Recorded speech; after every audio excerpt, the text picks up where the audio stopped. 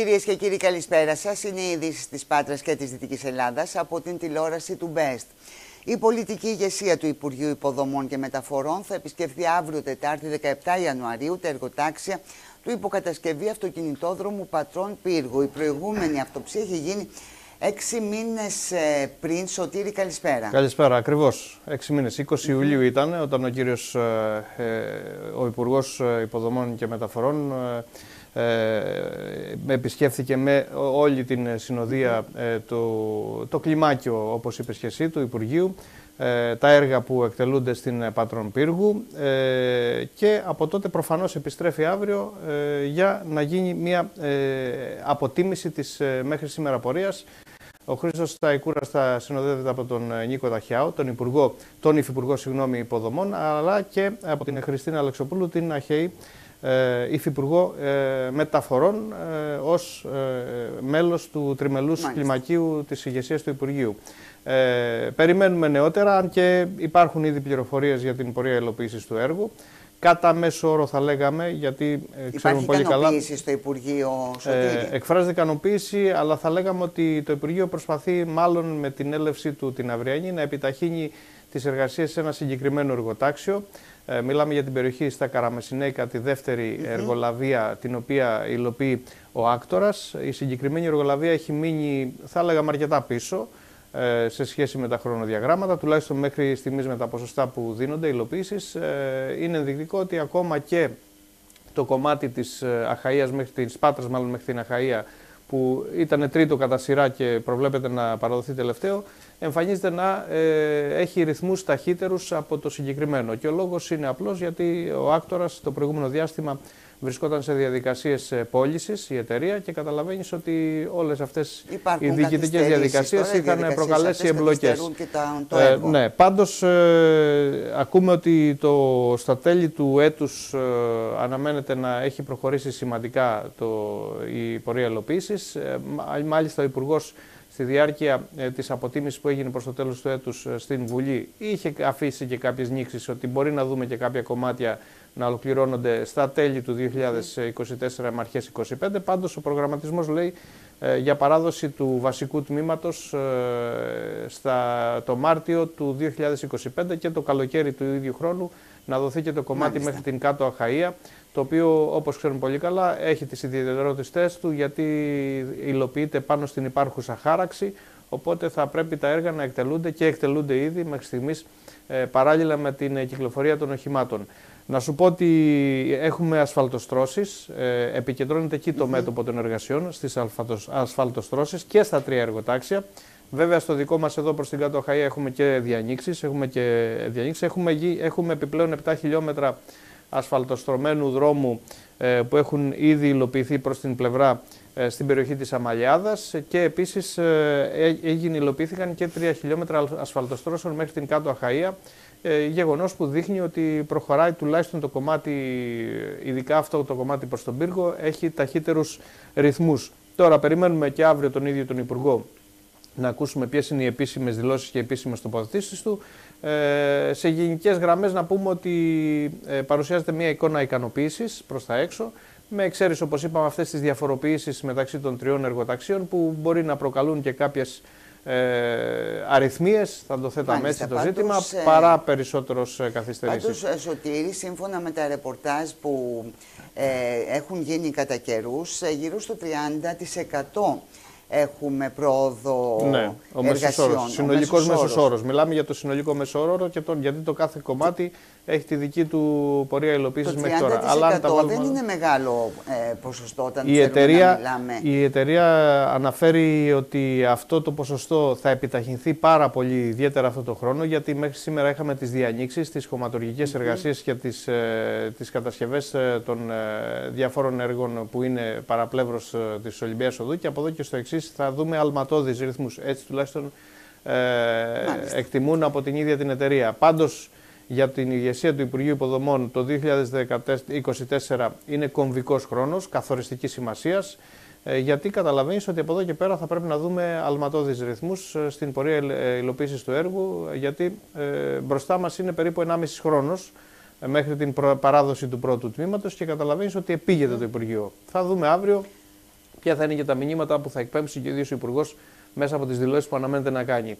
Δηλώσεις που περιμένουμε να τις κάνει στην περιοχή του Ρίου και κατόπιν ε, θα έχουμε και βέβαια. Και οι δηλώσει θα γίνουν πριν την αυτοψία. Ναι, πριν άρα, την άρα εκτιμούμε ότι ο Υπουργός έχει ενημερωθεί ε, αναλυτικά εκ των προτέρων και μεταβαίνει στην περιοχή, ε, στην, ε, στα τρία εργοτάξια για να δει με τα μάτια του αν όντως αυτά που του έχουν μεταφέρει από την Μάλιστα. Ολυμπία Οδό αντιπροσωπεύουν την πραγματική εικόνα.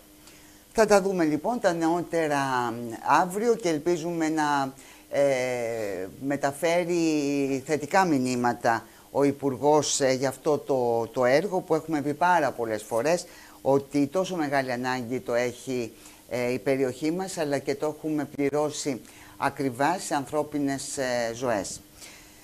Και πάμε να συνεχίσουμε τώρα κυρίες και κύριοι το δελτίο μας με το τραγικό περιστατικό που σημειώθηκε χθες βράδυ στο πλουτοχώρι του Δήμου Ανδρίτσενας Κρεσθένων και τη φωνική παράσυρση ενός ζευγαριού από Χήμαρο. Η οικογένεια της Γεωργίας, 38 ετών, που ανασύρθηκε νεκρή σήμερα το πρωί μετά από έρευνες για τον εντοπισμό της ίδιας και του ραβουνιαστικού της 45 ετών, είναι απαρηγόρητη. Το αυτοκίνητό τους παρασύρθηκε από Χήμαρο όταν προσπάθησαν να διασχίσουν μία γέφυρα στο χωριό. Τώρα όλοι προσεύχονται να βρεθεί ζωντανός ο σύντροφος της αδικοχαμένης γυναίκας. Να παρακολουθήσουμε το ρεπορτάζ του Κώστα Γελντή.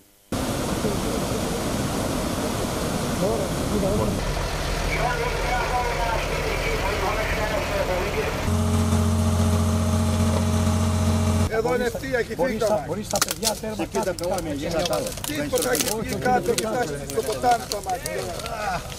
Είναι η στιγμή που βατραχάνθρωποι της 6ης ΕΜΑΚ βουτούν στο ποτάμι σε μια προσπάθεια να εντοπίσουν το ζευγάρι και το αυτοκίνητό τους. Αυτό εδώ ακριβώς το σημείο προσπάθησε να διασχίσει με το αυτοκίνητό του το ζευγάρι όταν παρασύρθηκε από τα ορμητικά νερά του χυμάρου. Όλα έγιναν περίπου στις 8.30 το απόγευμα.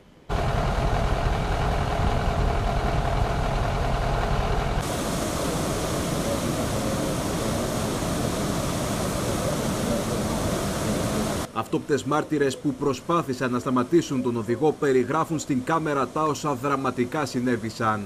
Το κοιτάξαμε, Περιμέναμε να βγει, μήπως σπάσει κανένα τζάμι και μέχρι να δούμε την κίνηση τι έγινε, τον πήρε σβούρα έτσι. Το γύρισε. Τον πήρε μέσα, τελείωσε. Πάει, χάθηκε μετά. Χάθηκε, τέλος. Από ό,τι κάτω έχει πρόσβαση λόγω από πολλού Έχει άλλο ρέμα, έχει άλλο ρέμα μετά από εκεί.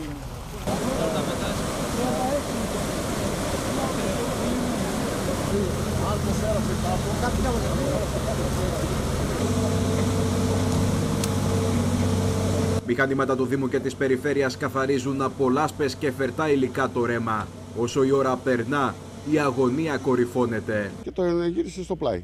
Φρακάρισε στο πλάι. Ε, μέχρι να πάμε την πυροσβεστική. Να δει, μόλις έφτανε η πυροσβεστική, το σήκωσε το, το πήρε κάτω. Το... Ε, βγήκε από τα μαξ, κοίταγε τρογύρω του και μόλις ε, ξαναμπήκε μέσα. Ενώ του μίλαγε με τα παιδιά από εδώ, έβγα να ανοίξει το τζάμι και να φύγει, μένανε μέσα στα μάξι.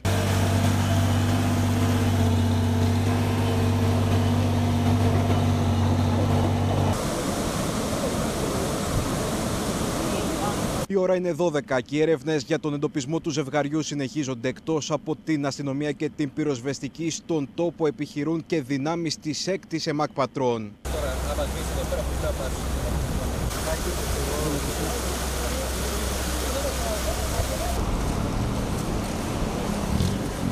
Θα διαθέσαμε όλα τα μέσα για να μπορέσουμε να αποφορτήσουμε το ποτάμι. Ε, ένα ζευγάρι μάθαμε προσπάθησε να διασχίσει με το αυτοκίνητο ε, και η ορμή του ποταμού το παρέσυρε. Είμαστε εδώ από την πρώτη στιγμή, περιφέρεια, πολιτική προστασία, δήμος, πυροσβεστική, αστυνομία, η ΕΜΑΚ. Κοιτάξτε, είχαμε μία βροχή πολύ έντονη και προσδιορίζεται περισσότερο στην παραποτάμια ζώνη.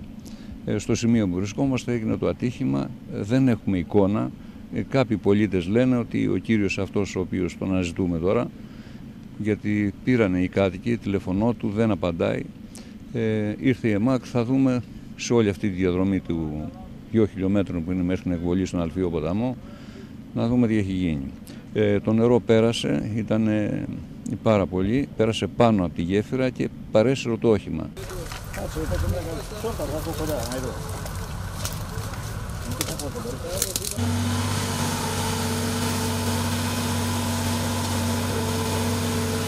Οι έρευνες συνεχίστηκαν καθ' όλη τη διάρκεια της νύχτας. Με το πρώτο φως της ημέρας ήρθε η τραγική αποκάλυψη. Η νεαρή γυναίκα εντοπίστηκε νεκρή περίπου 2 χιλιόμετρα μακριά από το σημείο που τα ορμητικά νερά παρέσυραν το αυτοκίνητο.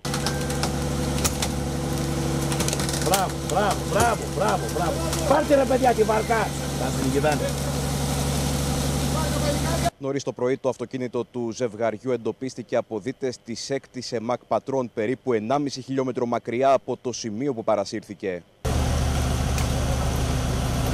Το αυτοκίνητο του ζευγαριού βρέθηκε Με την ε, ανάπτυξη των drones, αλλά και με τους δίτες, με ομάδες της ΕΜΑΚ, με την ομάδα ορμητικών νερών, με ομάδες ε, της ΕΜΟΔΕ, καταφέραμε μετά από λίγη ώρα να εντοπίσουμε δυστυχώς ε, νεκρή τη γυναίκα που υπέβαινε στο γεωταχή. Μετά από λίγο εντοπίσαμε και το αυτοκίνητο, στο οποίο και ελέγξαμε αν υπάρχει μέσα ο άτυχος άντρας. Δεν υπήρχε, το ανασύραμε για να είμαστε σίγουροι με ιδιωτικό μηχάνημα.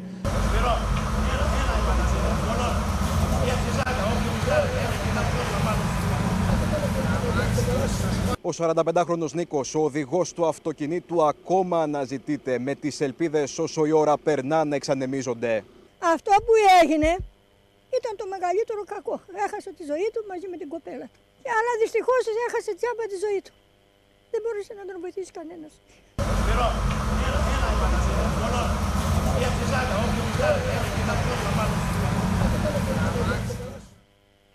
Και οι έρευνες συνεχίζονται κυρίες και κύριοι. Τώρα, μια σειρά από σημαντικές αλλαγές θα επιφέρει στα ομόφυλα ζευγάρια το νομοσχέδιο που θα εισάγει η κυβέρνηση σε νομικό επίπεδο.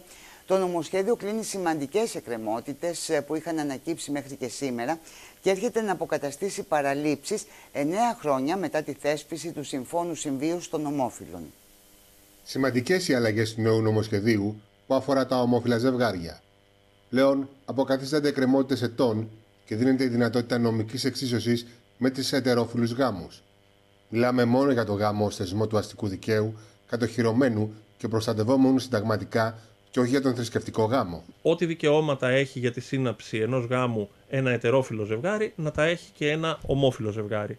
Δηλαδή, για να το κάνουμε πιο σαφές, μέχρι σήμερα σχετικά με την σύναψη μιας ε, συμβίωσης μεταξύ ομόφυλων ε, ζευγαριών είναι σε ισχύ το σύμφωνο συμβίωσης το πλαίσιο του, στο πλαίσιο του οποίου δύο άτομα του ίδιου φύλου μπορούσαν να υπογράψουν το σύμφωνο σε ένα συμβολιογράφο. Τώρα επεκτείνεται αυτή η δυνατότητα με τη ρύθμιση που εισάγεται από την ε, κυβέρνηση ε, και δίνεται η δυνατότητα στα ομόφυλα ζευγάρια να πάνε σε ένα δημαρχείο και να συνάψουν ε, πολιτικό γάμο όπως μπορεί να κάνει και ένα ετερόφιλο ζευγάρι.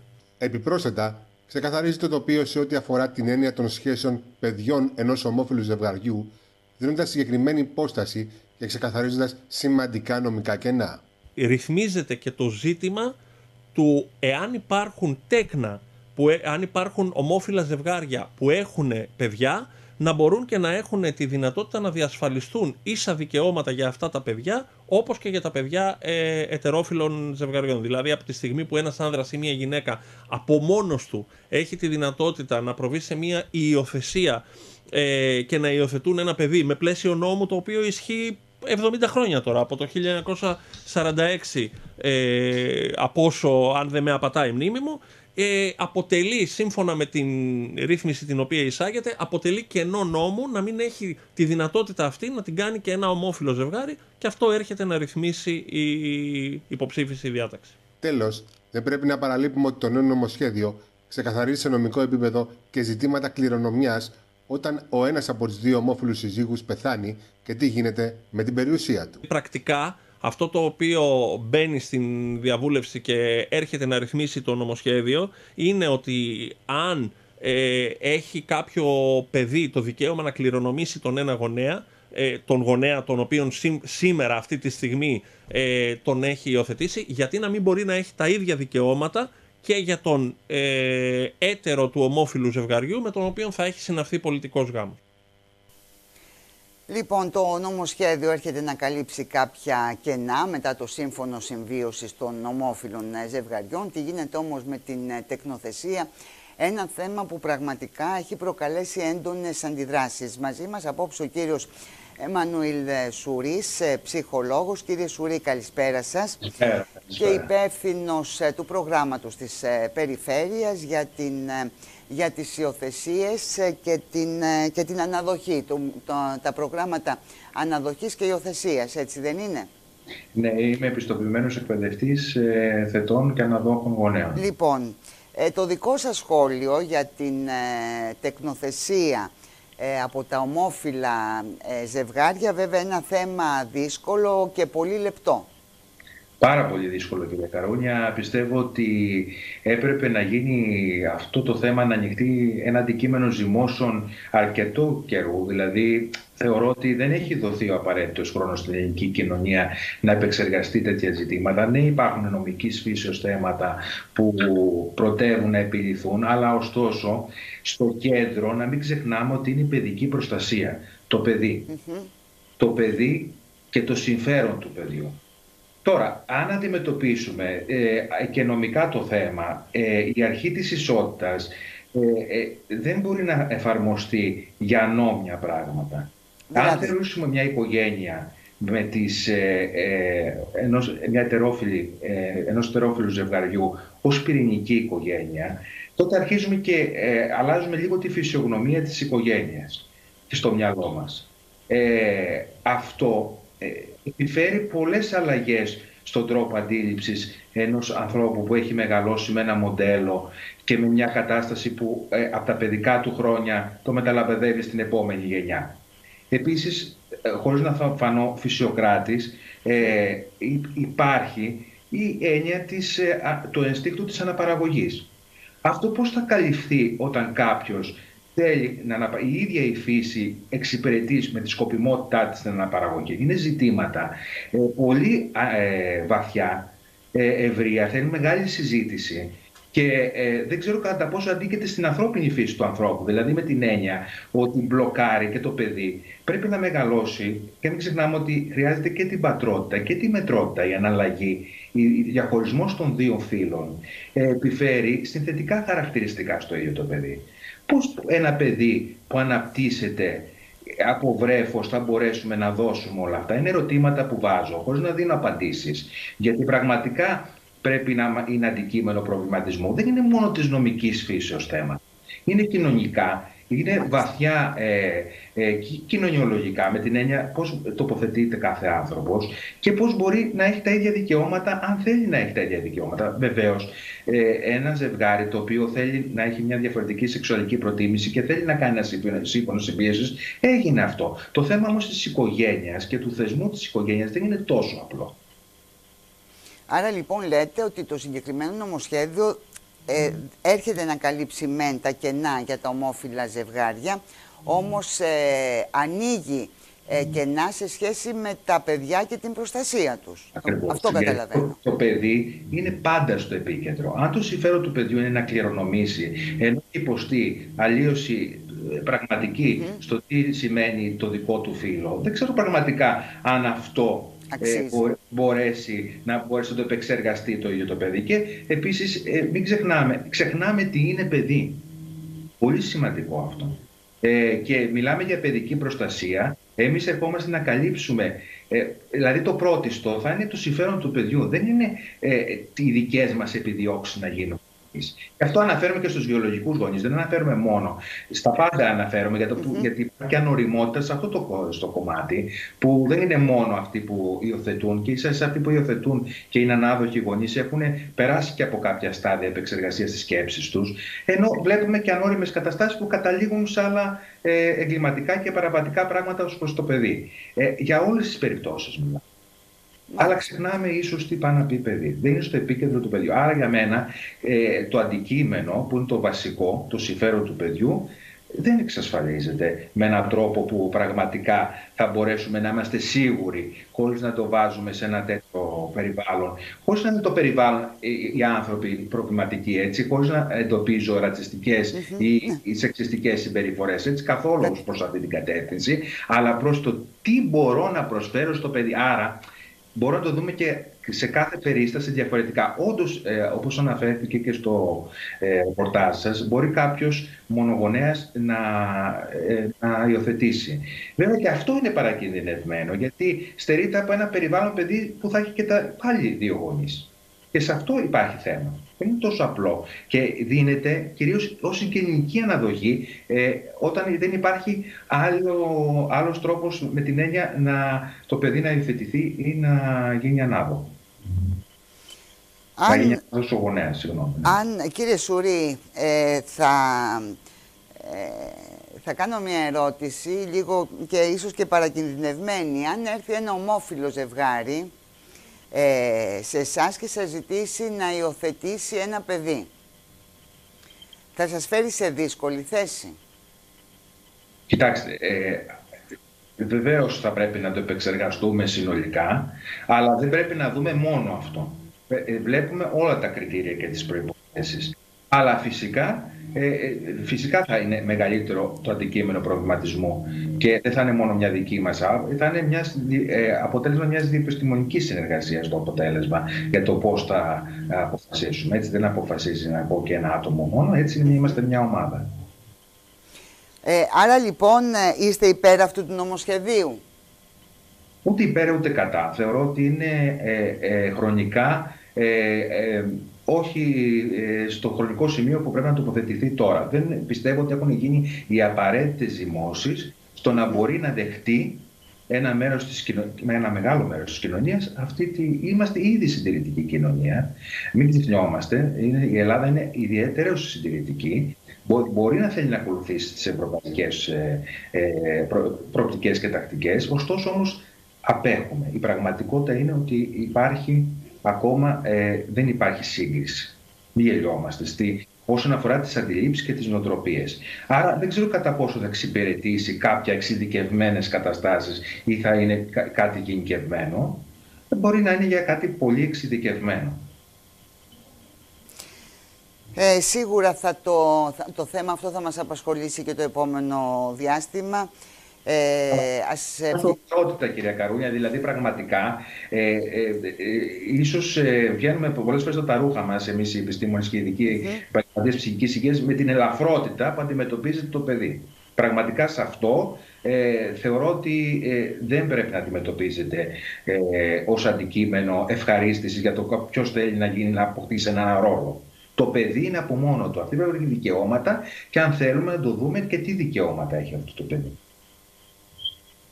Γιατί πιστεύετε ότι προχωράει η κυβέρνηση σε αυτό το νομοσχέδιο, ε, κύριε Σουρή. Δεν μπορώ να μαντέψω. Δυστυχώς, ίσως θέλει μια ευρωπαϊκή σύγκριση προς τις νομοθεσίες της ε, χώρες της Ευρώπης. Προφανώς για να μπορούμε να έρθουμε πιο κοντά σε αυτό. Αλλά θεωρώ ότι η ελληνική. Είπατε όμως ότι δεν είμαστε ακόμη σε αυτό το Δεν θεωρώ ότι είναι έτοιμο. Κατά τη δική μου άποψη, να δεχτεί. Όχι ότι δεν πρέπει να δεχτεί ή θα πρέπει, αλλά υπάρχει και το χρονικό σημείο που κάτι γίνεται και αλλάζει. Ε, αν βιάζεσαι, ε, δημιουργούνται διάφορες καταστάσεις οι οποίες ε, μπορείς να μην τις προβλέψεις αργότερα. Να σε ευχαριστήσω πολύ κύριε Σούρη για αυτήν την ε, συζήτηση. Ε, ας ευχηθούμε ότι όλα θα πάνε καλά για τα παιδιά. Έτσι. Καλό σας βράδυ, καλή συνέχεια. Ανησυχία, ωστόσο, προκαλούν τα λεπάλληλα κρούσματα εγκληματικότητας που καταγράφονται στη χώρα. Στη γερή δολοφονία του Βαγγέλη Ζαμπούνη σε πρατήριο καυσίμων στον νέο κόσμο έρχεται να προσθεθεί στις πλήστες όσες έχουν εκδηλωθεί μέχρι σήμερα στη χώρα μας. Η εκτίμηση που διαμορφώνεται σε πολιτικό επίπεδο είναι ότι το οργανωμένο έγκλημα δεν έχει παταχθεί στο ελάχιστο και οι διοκτικές αρχές αδυνατούν να το αντιθασεύσουν, όχι από ανεπάρκεια ή από αποτελεσματικότητα, αλλά από λάθος κυβερνητικές επιλογές. Ένα ανελαίτο πόλεμο συμποριών που λιμώνονται κυρίως στο λεκανοπέδιο Αττικής και όχι μόνο, ζει αυτή την περίοδο η ελληνική κοινωνία. Η κατά παραγγελία δολοφονίες στο κέντρο της Αθήνας και άλλων μεγάλων πόλεων, δολοφονίες που μπορούν να θέσουν δυνητικά σε άμεσο κίνδυνο τη ζωή αθώων ανθρώπων, παραπέμπουν σε καθημερινότητα που ζουν πολίτες σε χώρες της Λατινικής Αμερικής. Προσωμιάζουμε με χώρες της Λατινικής Αμερικής. Δυστυχώς, μία ακόμη δολοφονία μέσα στο κέντρο της Αθήνας ε, για πολλωστή φορά. Ε, γύρονται σοβαρότατα ζητήματα περί ασφάλειας στο εσωτερικό της χώρας. Το δόγμα αυτό της εσωτερικής ασφάλειας κυριολεκτικά έχει καταρρεύσει. ε, οφείλει η πολιτεία και άμεσα η κυβέρνηση να προβεί στις ανάλογες ενέργειες με όλες τις διοκτικές αρχές, ούτως ώστε αυτός ο φαύλος κύκλος αίματος και δολοφονιών στη χώρα μας να πάψει. Βιώνουμε μια άκρατη βία ε, σε όλη τη χώρα, με κάθε μορφή και όπως αυτή εκφαίνεται κάθε φορά. Ε, θέλω να πω όμως ότι οι διοκτικές αρχές, εφόσον λάβουν την εντολή από την κυβέρνηση και την πολιτεία, είναι σε θέση να προχωρήσουν στην εξυχνίαση τόσο στιγερών ε, δολοφονιών. Ο Υπουργός, ο νυν Υπουργός Προστασίας του Πολίτη, ο Μιχάλης Σοχοίδης, έχει καταθέσει ένα φάκελο με ονόματα στην εισαγγελία του Αρίου Πάγου και οφείλουν άμεσα να προβούν σε κάθε ενέργεια, ούτως ώστε να πάψει και αυτό το νοσηρό φαινόμενο που ταλανίζει τη χώρα μας. Με μια σειρά από παρεμβάσεις, εάν προχωρούσε η κυβέρνηση, θα μπορούσε να περιορίσει σημαντικά την εγκληματικότητα στη χώρα μας. Ωστόσο, για λόγους που χρήζουν διερεύνησης, έχει περιοριστεί σημαντικά η αποτελεσματικότητα των διοκτικών αρχών. Σε πρωτογενή τομέα θα έπρεπε να έχουν γίνει ήδη όλες αυτές οι ενέργειες που προβλέπονται θα έπρεπε να έχουν προχωρήσει οι διοκτικές αρχές στην ε, προσαγωγή, στη σύλληψη ατόμων. Υπάρχουν τα στοιχεία, υπάρχουν τα δεδομένα.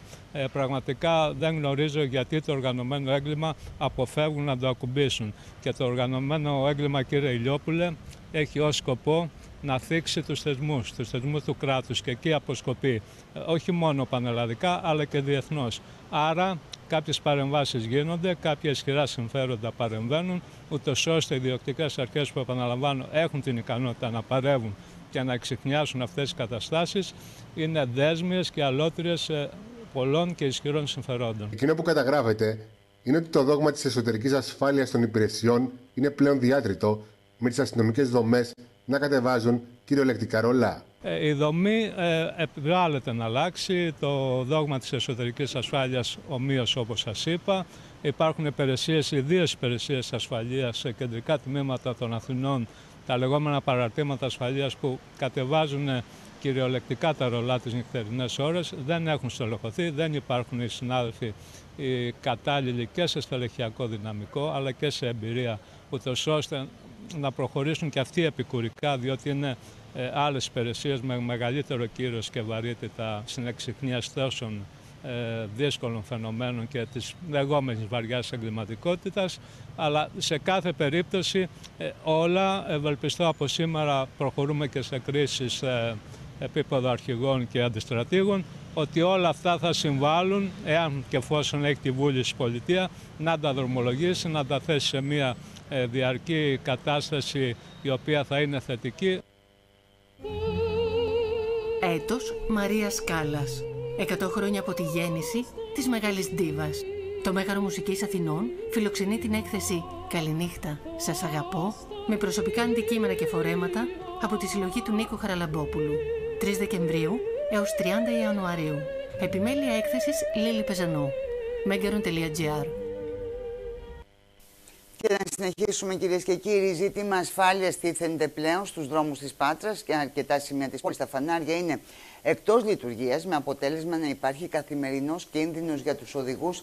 Σωτήρι. Ναι, γνωστό το πρόβλημα, δεν είναι κάτι το καινούριο. Συχνά, τακτικά, σε, θα λέγαμε ε, σε εβδομαδία βάση βλέπουμε να προκύπτουν προβλήματα με τα φανάρια σε, και μάλιστα σε μεγάλες διασταυρώσεις της Πάτρας με αποτέλεσμα να δημιουργούνται σοβαρές συνθήκες και προϋποθέσεις ε, ακόμη, ακόμη ατυχημάτων. έχουμε παρατηρήσει και χαλασμένα φανάρια ε, για χρόνια. Ναι, υπάρχουν ακόμα και τέτοιες περιοχές. Ε, κυρίως είναι απόμερες, ε, απομακρυσμένες περιοχές που δεν εντοπίζονται από τις αρμόδιες υπηρεσίες. Μια χαρακτηριστική περίπτωση το ναι. φανάρι δεν, και δεν είναι απομακρυσμένη περιοχή. Το φανάρι στην ε, συμβολή των οδών ε, Κορίνθου με την ε, Ιεροθέου. Ναι. Ε, υπάρχουν ζητήματα και η Κορίνθου έχει και άλλα ζητήματα. Έχει και ο είναι για χρόνια εκεί το φανάρι που δεν, δεν λειτουργεί. Στο, στον κόμβο Κουρτέση έχουν παρατηρηθεί παρόμοια προβλήματα. Στην Αγία Σοφίας, στην οδό Αγίας Σοφίας, στη συμβολή των οδών Έλληνο Στρατιώτου και Υπήρου, ε, στην Πατρών Κλάους, κοντά στον κόμβο Κούκου. Από ό,τι βλέπεις, Σεφ είναι κεντρικές οδικές αρτηρίες αυτές. Δεν είναι κάποια δρομάκια, κάποιοι παράδρομοι.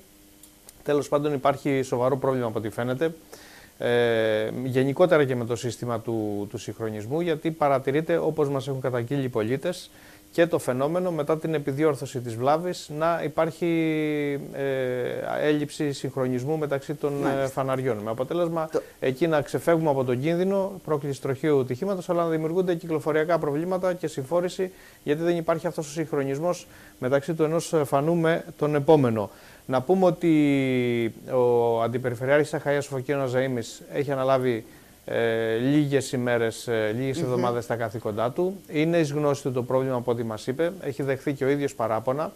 Αλλά περιμένει να ενημερωθεί από τις αρμόδιες υπηρεσίες και κυρίως από την εταιρεία που διαχειρίζεται, γιατί υπάρχει εταιρεία εδώ που προμηθεύει το σχετικό λογισμικό και κάνει τις σχετικές ρυθμίσεις. Δεν είναι μια εργασία δηλαδή την οποία κάνουν κάποιοι δημόσιοι υπάλληλοι, είναι τεχνικό το ζήτημα, υπάρχουν τεχνικές προδιαγραφές που πρέπει να τηρούνται και προφανώς περιμένουμε να ακούσουμε και ποιες θα είναι οι παρεμβάσεις της περιφέρειας από την οποία περιμένουμε να γίνει και λίγο πιο αυστηρή απέναντι σε αυτό το ζήτημα, γιατί ειδικά κάποιες ε, περιοχές, θυμίζω εδώ και επισημαίνω το πρόβλημα επί της Κορίνθου και της Κανακάρη, θα λέγαμε ότι είναι η πιο προβληματική διασταύρωση στην, ε, σε όλη την Πάτρα. Εκεί το φανάρι παρατηρούνται βλάβες σε τακτική βάση. Όταν λες Κορίνθου και Κανακάρη. Στην Κορίνθου και, συγγνώμη, στην ε, Γούναρη και Κανακάρη. ναι, έκανα λάθος προφανώς. Ναι.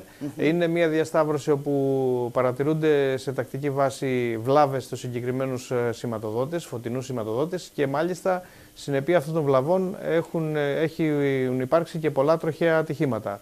Ε, προφανώς είναι ένα σημείο πραγματικά που αν δεν ρυθμίσει το φανάρι την ε, κυκλοφορία ε, γίνεται άκρος επικίνδυνο για, τους, για οδηγούς, για πεζούς.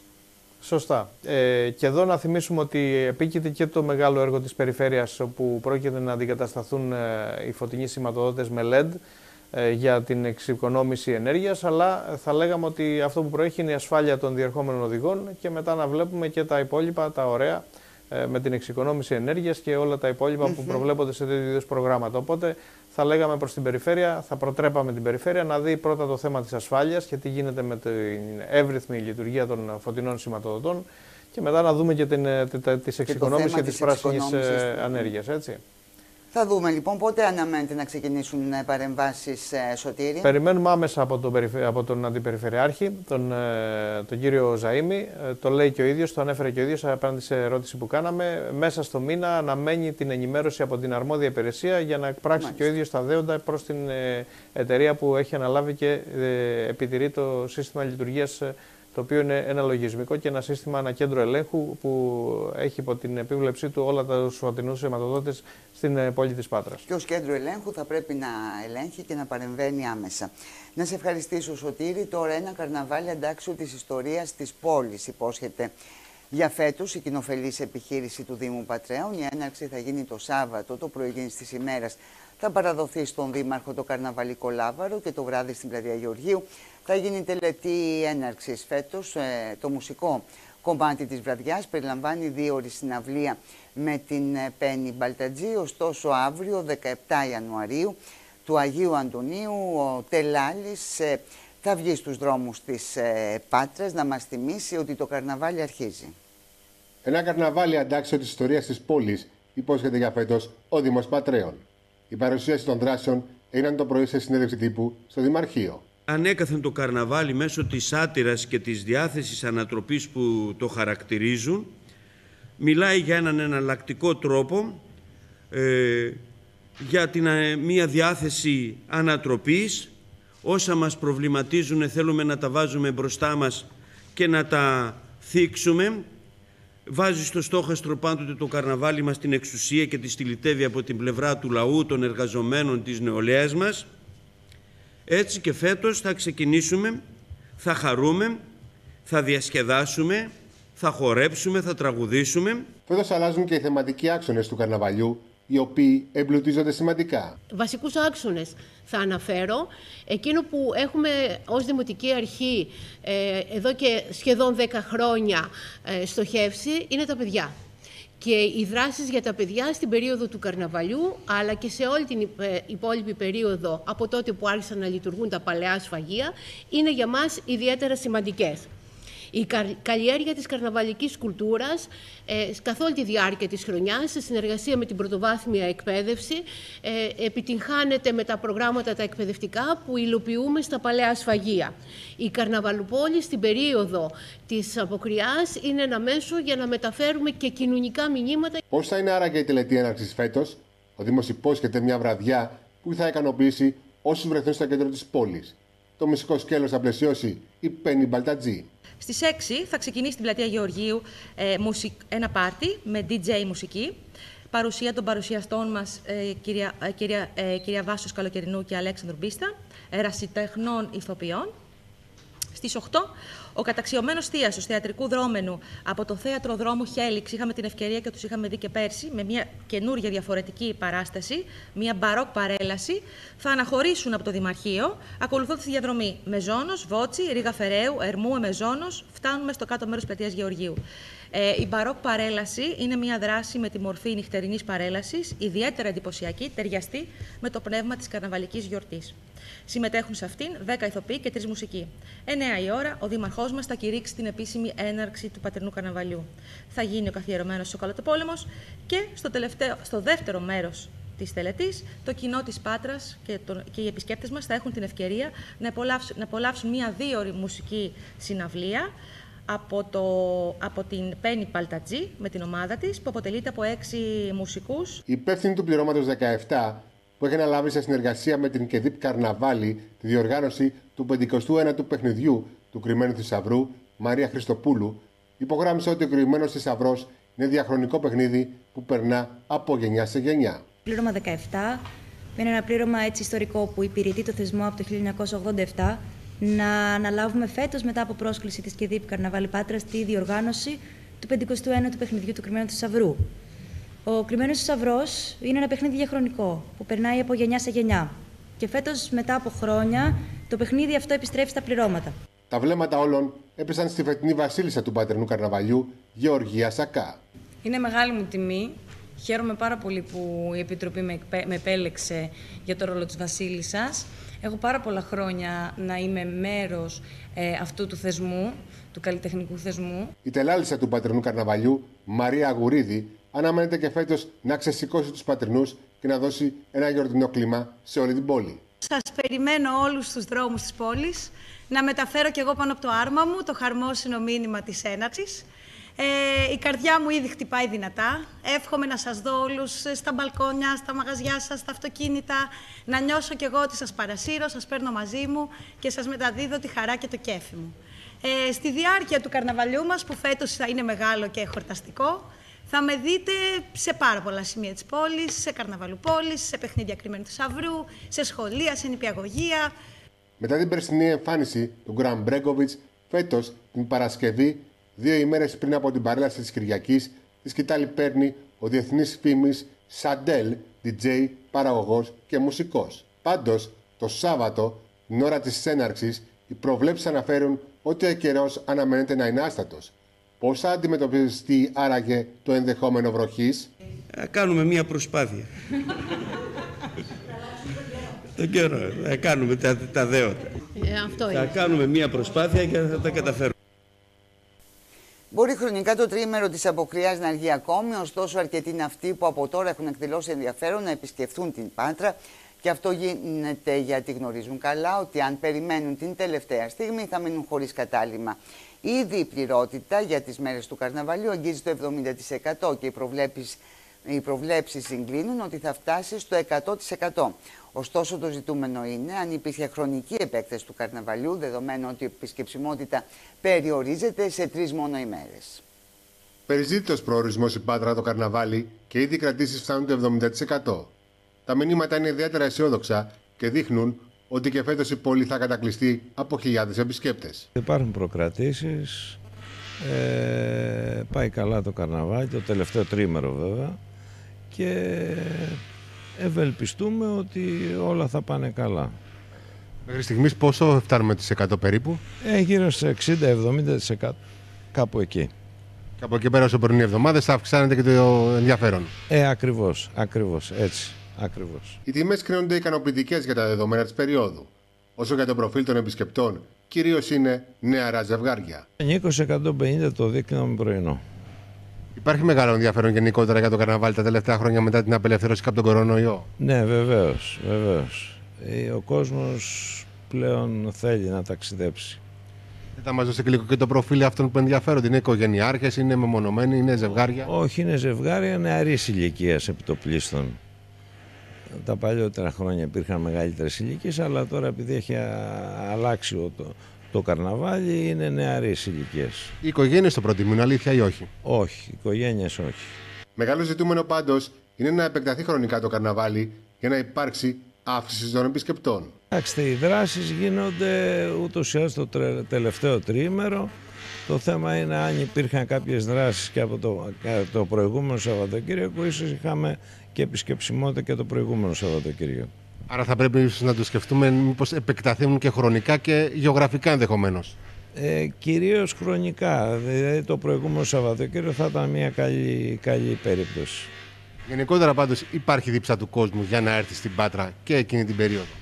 Γενικά το, το καρναβάλι ίσον Πάτρα για την Ελλάδα. Υπάρχει επίσης και η εναλλακτική το Airbnb όπου οι τιμές εκεί είναι πιο ακριβές και ξεκινούν από τα 150 ευρώ τη βραδιά μέχρι και 5.000 ευρώ και τις τρεις για νυχτερεύσεις, για πιο λουξ διαμερίσματα. Όλο, όλο, όλο, όλο τον καιρό υπάρχει αντιπαλότητα αυτό το πράγμα. Κοιτάνε να κάνουν κάποιες νομοθετικές ρυθμίσεις, αλλά είναι όχι όσο αυτό, αυτό που θα έπρεπε. Και το ρωτάω γιατί υπάρχει κόσμος ο οποίος θα, πάει, θα προτιμήσει το Airbnb σε σχέση με το ξενοδοχείο όμως. Ε, αυτό θέμα. Ναι, υπάρχουν κάποιοι άνθρωποι που θέλουν το Airbnb. Στο σημείο αυτό κυρίες και κύριοι ολοκληρώθηκε το δελτίο μας. Σας ευχαριστούμε που μας παρακολουθήσατε. Καλό βράδυ σε όλους.